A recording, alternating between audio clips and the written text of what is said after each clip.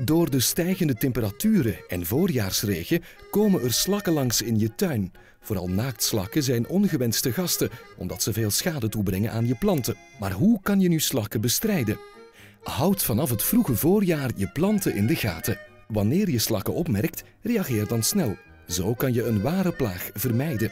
Het is raadzaam om dagelijks s'avonds op slakkenjacht te gaan. Indien je nog steeds last hebt van slakken, kan je voor een bestrijdingsmiddel kiezen, zoals Arionex van Edialux. Strooi per vierkante meter 30 slakkenkorrels. Of gebruik een slakkenval waarin je de slakkenkorrels legt. Laat je adviseren bij Floralux.